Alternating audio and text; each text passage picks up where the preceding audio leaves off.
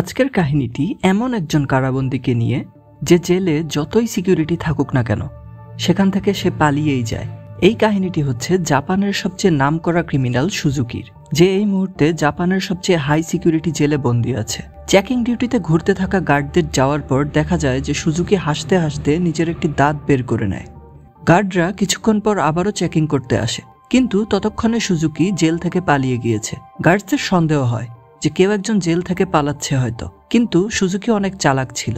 সে কোনো রকম আওয়াজ না করে আলোর থেকে দূরে এদিকে ওদিকে লুকিয়ে থাকে। যখন গার্ডরা আইসোলেশন সেলটি আবারও চেক করে, তখন তারা বুঝতে পারে যে সুজুকি হয়তো পালিয়ে গিয়েছে। তারা তখনই বাকি গার্ডদেরও ডাকে এবং চোখের পলকে সেখানে গার্ডসদের ভিড় জমে যায়। যখন সুজুকি ছাদ দিয়ে পালাচ্ছিল, তখন বিকট আওয়াজে জেলের সাইরেন বেজে ওঠে। হঠাৎই মুষলধারে বৃষ্টিও শুরু হয়, আর আমাদের ফ্ল্যাশব্যাকে আগের কাহিনী দেখানো হয়। বারো বছর আগে দশজন কয়েদিকে জেলে আনা হয়েছিল। যাদের মধ্যে সুজুকিও ছিল, যে তার দশ বছরের কারাদণ্ডের সাজা কাটাতে এসেছিল। সুজুকি যেহেতু কোনো কথা বলতো না, তাই সবাই ভেবে নেয় যে সে কথাই বলতে পারে না। তার বুকের মধ্যে মাউন্ট ফিজির একটা ট্যাটুও করা ছিল। সুজুকি ওই সময় জেল থেকে পালানোর জন্য নাম করা একজন ক্রিমিনাল ছিল এবং ততদিনে অলরেডি সে তিনটা জেল থেকে পালিয়েছে। এরপর সুজুকিকে ছোট একটা রুমে আনা হয়, যেখানে আলো বাতাস আসার জন্য কোনো রকম একটা ছোট জানালা ছিল। সে জানালাটিকে খুব ভালোভাবে পর্যবেক্ষণ করে। তাকে দেখতে মনে হচ্ছে যে তার মাথায় আবার পালানোর জন্য নতুন নতুন বুদ্ধি চলছে। বাইরে একজন গার্ড জেলের ওয়ার্ডেন মিস্টার কানিমুরাকে বলে, এইবার আর সুজুকি কোনোভাবেই জেল থেকে পালাতে পারবে না। এটা বলার পর সে যতক্ষণে জেলের ভিতর উকি দেয়, ততক্ষণে সুজুকি অলরেডি জেল থেকে গায়েব। ওয়ার্ডেন তখন পুরা শহর ঘিরে ধরার অর্ডার দেয়, যাতে সুজুকি কোনোভাবে বাঁচতে না পারে। কিন্তু অবাক ব্যাপার হচ্ছে যে গার্ডরা তাকে মাত্র বিশ মিনিটের মধ্যেই ধরে ফেলে। সুজুকিকে দেখা যায় যে সে একটা রেল লাইন ধরে সোজা দৌড়াচ্ছিল। এরপর দেখা যায় যে তাকে আবার জেলে এনে ওই রুমটিতেই বন্ধ করে দেয়া হয়। কিন্তু এবার তার হাতে হ্যান্ডকাফ লাগিয়ে দেয়া হয়। একজন গার্ড নজরদারি করতে ভিতরে তাকালে দেখে যে সুজুকি চাদর মুড়ি দিয়ে শুয়ে আছে। তখন ওই গার্ডটা রেগে গিয়ে সুজুকিকে চাদর সরাতে বলে। কারণ গার্ডটা কোনো রকম রিস্ক নিতে চাচ্ছে না। কিন্তু বারবার বলার পরও সে চাদর না সরালে গার্ডরা মিলে তাকে অনেকক্ষণ পিটায়। পরের দিন সকালে ওয়ার্ডেন সুজুকির সব পুরানো রেকর্ড বের করে। মনোযোগ দিয়ে পড়ার পর সে জানতে পারে যে যতবারই সুজুকি জেল পালিয়েছে, ততবারই তাকে রেল লাইনের ওখান থেকেই আবার গ্রেফতার করা হয়েছে। ওই দিন রাত্রে ওয়ার্ডেন বাকি গার্ডদের সাথে চেকিং এ যায়। কিন্তু সুজুকির সেলে যেয়ে ওয়ার্ডেন আবারও অবাক হয়ে যায়। কারণ সুজুকি কোনো একভাবে তার হাতে লেগে থাকা হ্যান্ডকাফটা খুলে ফেলেছিল। গার্ডরা রেগে গিয়ে তাকে ইচ্ছা মতো পিটায় এবং জিজ্ঞেস করে, কীভাবে খুলেছিস হ্যান্ডকাফ? কীভাবে খুলেছিস? বল। কিন্তু সব সময়ের মতোই সুজুকি এবারও চুপ থাকে আর প্রতিবারের মতোই এবারও তাকে অনেক মারা হয়। একদিন দেখা যায় যে সুজুকি তার সেলে একটা ছোট তার দিয়ে খেলছে, যেটা সে কোনো একভাবে লুকিয়ে জেলের ভিতর নিয়ে এসেছিল। প্রশ্ন হচ্ছে যে সে এই ছোট তারটি কীভাবে জেলের ভিতর আনলো? সুজুকি আসলে তার মুখের ভিতরে লুকিয়ে এই তারটাকে এনেছিল, আর এটার মাধ্যমে সে তার হ্যান্ডকাফটা খুলেছিল। কিছুদিন পর জেলের ওয়ার্ডেন এক সপ্তাহের জন্য ছুটিতে নিজের বাড়ি চলে যায়। সুজুকির হাতে পালানোর এবার একটা দারুণ সুযোগ এসে পড়ে। ওই দিন রাত্রে সে তার চিকন তারটি দিয়ে সেলের তালা খোলার চেষ্টা করে। কিছুক্ষণ পর একটা গার্ড সেখানে আসে চেকিং করতে। সে যখন ভিতরে উকি দেয়, তখন দেখতে পায় যে সুজুকি আবারও চাদর মুড়ি দিয়ে মুখ ঢেকে শুয়েছিল। গার্ডটি এবার তাকে কিছু না বলেই সেখান থেকে চলে যায়। কিন্তু আসলে সুজুকি ওই সেলের ভিতর ছিলই না। সে বরং টিকটিকির মতো সিলিং এর উপরে গিয়ে দাঁড়িয়েছিল সে জেল থেকে পালানোর জন্য সঠিক মুহূর্তর অপেক্ষা করছিল। গার্ডটা চলে যাওয়ার পর সে আস্তে আস্তে একদম উপরে উঠে যায়। সে সিলিং এর একটা ভাঙ্গা অংশতে ঘুষি মেরে সেখান দিয়ে পালিয়ে যায়। এরপর যখন গার্ডরা এই ব্যাপারটা বুঝতে পারে, তখন জেলের সাইরেন বাজিয়ে দেওয়া হয়। ওয়ার্ডেনের কাছে খবর পাঠানো হয় এবং সে তখনই জেলের উদ্দেশ্যে রওনা হয়। পরের দিন সকালে পুলিশের অফিসাররা সুজুকিকে ধরার প্ল্যান করতে থাকে। ওয়ার্ডেন তখন সেখানে এসে বলে যে, সব প্ল্যান বাদ দিয়ে একটা টিমকে পাশের রেল লাইনে পাঠাও। অফিসাররা ভাবে যে বুড়া ওয়ার্ডেন মনে হয় পাগল হয়ে গিয়েছে। সুজুকি কি পাগল নাকি যে, সে প্রতিবার একই জায়গায় গিয়ে পালাবে? কিন্তু ওয়ার্ডেন যখন তাদের আশ্বাস দেয় যে, সে হান্ড্রেড পার্সেন্ট শিওর যে, সুজুকিকে তারা সেখানেই পাবে, তখন তারা তার কথা বিশ্বাস করে ওইখানে একটা টিম পাঠিয়ে দেয়। এবং দেখা যায় যে, ওয়ার্ডেনের কথাই সত্যি হয়। সুজুকিকে আবারও একবার রেল লাইনের ওখান থেকেই আটক করা হয়। জেল থেকে পালানোতে তো একদম উস্তাদ। কিন্তু বাইরে এসে পালানোর সময় যে এই লোকের কি হয়, সেটা আসলে একটা রহস্যই রয়ে গেল এখনও। যাই হোক, ওয়ার্ডেনের বুদ্ধির কারণে সুজুকিকে আটক করা সম্ভব হয় দেখে তার একটা বিশাল প্রমোশন হয়ে যায়। এখন সে একটা বড় অফিসার হয়ে গিয়েছিল, যে দেশের বিভিন্ন জেলে গিয়ে কয়েদিদের অবস্থা চেক করত। ওইদিকে সুজুকি আবারও জেল থেকে পালায়, আর আবারও ওই রেল লাইনেই ধরা খায়। প্রতি বছর তাকে একটা নতুন জেলে পাঠানো হতো। যেটায় আরও কঠিন সিকিউরিটি থাকতো। কিন্তু সে সব জেল থেকেই এক না একভাবে পালিয়েই যেত। এর জন্য মিডিয়ার লোকেরা তাকে জেল পালানোর মাস্টারের উপাধি দেয় এবং সে সারা দেশে অনেক বিখ্যাত হয়ে যায়। বারো বছর পর তাকে সেন্ট্রাল জেলে নিয়ে আসা হয়। এখানে সে অনেক বেশি সিকিউরিটির মধ্যে ছিল, কারণ দশটা গার্ড শুধু তার উপর নজর রাখার জন্যই আলাদাভাবে রাখা হয়েছিল। তার পুরো রুমটাও ছিল একদম সিমেন্টের তৈরি, আর রুমের দরজার মধ্যে লাগানো ছিল বেশ কয়েকটা তালা। এটা ওই আইসোলেশন সেলটাই যেটা আমরা একদম কাহিনীর ঠিক শুরুতে দেখেছিলাম। গার্ডরা সেখান থেকে চলে যাওয়ার পর সুজুকি আবারও পালানোর উপায় খুঁজতে থাকে। একজন গার্ড খাবার এনে তার সেলে দিতে নেয়, কিন্তু তখনই সুজুকি তার হাত ভিতরে টান দিয়ে গার্ডের হাতে হ্যান্ডকাফ লাগিয়ে দেয়। গার্ডটা তখন জোরে জোরে বাসি ফু দেয়। যার ফলে আরও অনেকগুলা গার্ড সেখানে চলে আসে। তারা সেখানে এসে সুজুকিকে ইচ্ছা মতন পিটায়। সুজুকির জ্ঞান ফিরলে সে গার্ডদের সেখান থেকে চলে যেতে দেখে। তার মুখ থেকে রক্ত গড়াতে গড়াতে জেলের লোহার জানালার শিকলগুলোয় গিয়ে পড়ছিল। পরের দিন সকালে গার্ডরা তার হাতের শিকলে আরও কয়েক রকম লক লাগিয়ে দেয়, যাতে সে এবার কোনোভাবেই এই তালা খুলতে না পারে। যাওয়ার আগে তারা আরেক দফা সুজুকিকে মেরে পিটে যায়। এভাবেই সুজুকির দিন কাটছিল। সে ইচ্ছা করেই গার্ডদের সাথে ঝামেলা করত। তারা তাকে পিটাতো আর সে তার রক্ত, তার সেলের লোহার জানালাটায় ফেলত। একদিন গার্ডরা তাকে এত মারে যে তার দাঁত খুলে পড়ে যায়। কিন্তু সুজুকি ওই ভাঙ্গাদারটা হাতে উঠিয়ে নেয় এবং অদ্ভুতভাবে হাসতে থাকে। এমন লাগছিল যেন এসব সবকিছুই তার প্ল্যানেরই একটি অংশ।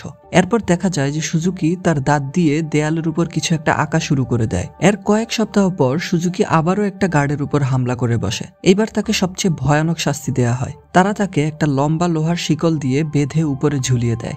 এক বছর কেটে যায়, আর সুজুকি এখনও তার শাস্তি কাটাচ্ছিল। তার শারীরিক অবস্থা অনেক খারাপ হয়ে গিয়েছিল। তার কাটা ক্ষতগুলায় কিরা পড়ে গিয়েছিল। অবশেষে ওই দিন বিকালে এসে গার্ডরা তার শিকল খুলে দেয়। পুরা এক বছর পর সে একটু স্বস্তির নিঃশ্বাস নেয়। ওইদিকে পুরানো ওয়ার্ডেন মিস্টার কানেবুড়া সেখানের কয়েদিদের খবরাখবর নিতে যায়। সে আইসোলেশন সেলে গিয়ে দেখতে পারে যে সুজুকির অবস্থা অনেক বেশি খারাপ ছিল। কিন্তু সে তাকে দেখেও না দেখার ভান করে সেখান থেকে চলে যায়। এরপর আমরা আবারও ওই রাতে ফিরে যাই, যেখান থেকে কাহিনী শুরু হয়েছিল। যখন বাইরে বিদ্যুৎ চমকানো শুরু হয় তখন সুজুকি তার প্ল্যান মতো কাজ করা শুরু করে। সে তার দাঁতটা বের করে এবং তার হাতে বাঁধা শিকলের তালা খুলতে থাকে। আসলে সুজুকি দেয়ালে তার দাঁত ঘষে ঘষে কিছু বানাচ্ছিল না। সে বরং তার দাঁতটাকে চোখা করছিল, যাতে ওই চোখা দাঁত দিয়ে সে তার হাতে লাগানো শিকলের তালা খুলতে পারে। হাতের শিকল খোলার পর সে দরজার কাছে গিয়ে লোহার জানালাটাকে ধাক্কা দেওয়া শুরু করে। বারবার রক্ত পড়তে পড়তে ওই লোহার জানালাটায় মরিচা ধরে গিয়েছিল। কিছুক্ষণের মধ্যেই জানালাটা ভেঙে যায়। এবং সুজুকি জেল থেকে পালিয়েও যায়। এরপর সুজুকির জন্মের সময়ের কাহিনীটা দেখানো হয়। তার জন্মের পরই তার মা মারা যায় আর বাপ জেলে বন্দী ছিল। এই কারণে সে তার আত্মীয় স্বজনদের কাছেই বড় হয়েছিল। একদিন সে জঙ্গলে প্র্যাকটিস করছিল। তখনই সে দূর থেকে একজন লোককে তার দিকে আসতে দেখতে পায়। ওই লোকটা আর কেউ না, তার বাপ ছিল। তারা সেখানে কিছুক্ষণ কথা বলে এবং সে তার বাবার বুকে মাউন্ট ফিজির একটা ট্যাটু দেখতে পায়। দুর্ভাগ্যক্রমে তখনই সেখানে কিছু পুলিশের লোক চলে আসে, যারা সুজুকির বাবাকে ধরতে চাচ্ছিল সুজুকির বাবা পুলিশদের থেকে বাঁচার জন্য রেল লাইন দিয়ে সোজা দৌড়াতে দৌড়াতে পালাতে থাকে। ওই দিন সুজুকি কসম খায় যে একদিন না একদিন সে আবারও তার বাবার সাথে দেখা করবেই। সিন বর্তমানে চলে আসে আর দেখা যায় যে সুজুকি আবারও জেল থেকে পালিয়ে রেল লাইন ধরে সোজা দৌড়িয়ে যাচ্ছিল। মিস্টার কানেমুরা তখন তাকে পিছন থেকে থামার জন্য আদেশ দেয়। আর আশ্চর্যকর ব্যাপার হচ্ছে যে সে থেমেও গিয়েছে। কিছুক্ষণের মধ্যেই গার্ডসদের একটা টিম এসে তাকে ধরে আবারও জেলে নিয়ে যায়। দেশের সবচেয়ে কড়া সিকিউরিটির জেলও তাকে ধরে রাখতে না পারায় মিস্টার কানেমুরা তাকে পৃথিবীর সবচেয়ে ভয়ানক জেল প্রিজন আইলে পাঠানোর অর্ডার দেয়। প্রিজন আইল কোনো সাধারণ জেল ছিল না। জেলটি সমুদ্রের ঠিক মাঝখানে বানানো হয়েছিল, যেখানে সারাদিন প্রবল ঢেউ আসত। আর সবচেয়ে জরুরি কথা হচ্ছে যে সেখানে কোনো প্রকার রেল লাইনই ছিল না। আর পুরা সমুদ্র শার্ক দিয়ে ভরপুর ছিল। এই জন্য সেখান থেকে পালিয়ে ভেগে যাওয়া ছিল একদমই অসম্ভব। জেলের ভিতরটাও জেলের বাইরের মতোই ভয়ানক ছিল। পুরা জেলের মধ্যে হাজারো গার্ডস ছিল। আর যদি কোনো কয়েদি জেল থেকে পালানোর চেষ্টা করে তবে তাকে দেখতেই গুলি মেরে দেওয়ার আদেশও ছিল। যখন সুজুকি সেখানে পৌঁছায়, তখন সাথে সাথেই তাকে তার সেলে বন্ধ করে দেয়া হয়। সেই সেলটা আসলে কোনো রুম তো নাই, বরং ওই সেলটা ছিল কিছু রড যেগুলো এমনভাবে সুজুকির শরীরের চারদিকে সেট করা হয়েছিল, যাতে সে পালানো তো দূরের কথা। সেখান থেকে নড়তেও না পারে। ওইদিকে কানেমুরা লাইব্রেরিতে গিয়ে সুজুকির ব্যাপারে আরও খোঁজ নেওয়া শুরু করে। খোঁজাখুঁজি করায় সে কিছু পুরানো ফাইল পায়, যেগুলো সে পড়তে থাকে। ওইদিকে সুজুকি তার সেলের মধ্যে দাঁড়িয়ে দাঁড়িয়ে একরকম ধ্যানেই মগ্ন ছিল। বাকি কয়েদিদের জন্য সেখান থেকে পালানো অসম্ভব হলেও সুজুকির মাথার ভিতর কিছু একটা চলছিল। হঠাৎ করেই সে তার দোনোটা কাঁধকে ডিসলোকেট করে ফেলে এবং ওই চিকন লোহার সেল থেকে ধীরে ধীরে বের হয়ে আসে। একজন কয়েদি তাকে এটা করতে দেখে ফেলে। কিন্তু সে এতই নেশাগ্রস্ত ছিল যে সে কি হচ্ছে তা কিছুই বুঝতে পারছিল না। ওইদিকে কানেমুরা এখনও তার রিসার্চ চালিয়েই যাচ্ছিল। তখনই হঠাৎ করে জেলের সাইরেন বেজে ওঠে। কিন্তু দেখা যায় যে ওই জেলের ওয়ার্ডেন চিন্তিত হওয়ার জায়গায় উল্টা খুশি হয়ে যায়। কারণ ওই জেল থেকে পালানোর মতো কোনো রাস্তাই নেই। তার উপর ওইখানের গার্ডরাও আজকে একটা কয়েদিকে গুলি মারার সুযোগ পাবে। মিস্টার কানেমুরা বোঝানোর চেষ্টা করে যে সুজুকি অন্যান্য সাধারণ কয়েদিদের মতো না। কিন্তু ওয়ার্ডেন তার কথার কোনো পাত্তা দেয় না। পরের দিন সকালে অনেকগুলা গার্ডকে বন্দুক নিয়ে পুরো আইল্যান্ডে ছড়িয়ে দেওয়া হয়। ওয়ার্ডেন তার গার্ডদের কিছু একটা বোঝাচ্ছিল। আর তখনই সেখানে মিস্টার কানেমুরা চলে আসে। সে ওয়ার্ডেনকে বলে, সুজুকি আসলে তার বাবাকে খুঁজতে এসেছে, যে নিজেও এই আইল্যান্ডেরই একজন কয়েদি। এই কথা শুনে সেখানে থাকা সবাই হতবাক হয়ে যায়, আর তখনই সুজুকের আসল প্ল্যান বের হয়ে আসে। আসলে এখন পর্যন্ত যা হয়েছে তার সবকিছুই সুজুকির প্ল্যানের একটা অংশ ছিল। সে বারবার জেল থেকে পালিয়ে ইচ্ছা করেই আবার ধরা খেয়ে যেত। যাতে শেষমেশ সে প্রিজন আইলে পৌঁছাতে পারে। আসলে তার আসল উদ্দেশ্য ছিল তার বাবাকে সেখান থেকে মুক্ত করা। অবশেষে সুজুকি তার বাবার সাথে দেখা করে। আর এত বছর পর তাদের দেখা হওয়ায় তারা দুইজনেই কান্নায় ভেঙে পড়ে। আর এদিকে ওয়ার্ডেন আর মিস্টার কানেমুরাও বাকি গার্ডদের সাথে করে নিয়ে সেখানের দিকেই এগোতে থাকে। কিন্তু তাদের পৌঁছানোর আগেই সুজুকি তার বাবাকে নিয়ে সেখান থেকে গায়েব হয়ে যায়। সুজুকি তার বাবাকে তার সাথে আইল্যান্ডের একদম কিনারায় নিয়ে আসে। সে আগে থেকেই সেখান থেকে পালানোর জন্য একটা প্যারাগ্লাইডার রেডি করে ফেলেছিল। তারা দুইজনই প্যারাগ্লাইডারে উঠে এবং দূরে পালিয়ে যায়।